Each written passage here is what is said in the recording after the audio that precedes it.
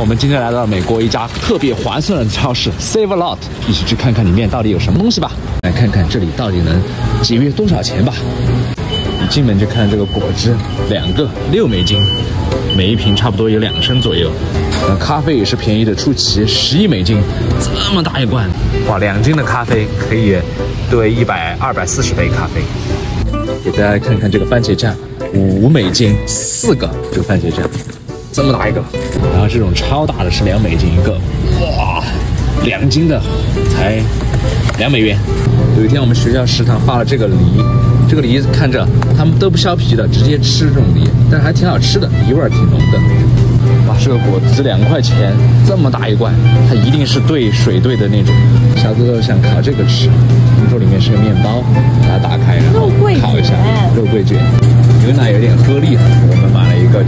杏仁奶，试一试，三块钱。我在想美国人到底有多爱吃芝士？看二十美金四磅这个芝士。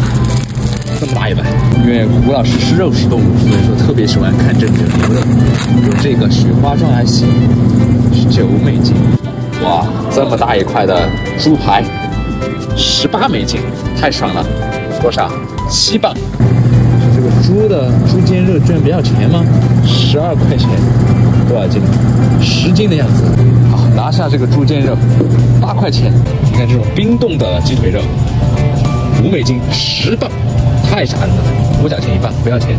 你看整个 Save a Lot 面积不大，但是它基本上日常生活中的食品全都有。感觉美国真是半成品市的天堂啊，这里全都是半成品，所有货架上面东西都是预制的。感觉中国也要成这种趋势，预制食品。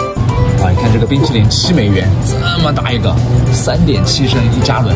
你看为什么冰淇淋和这种巧克力酱在一起？他们很喜欢把巧克力酱浇在这个冰淇淋上一起吃，更甜。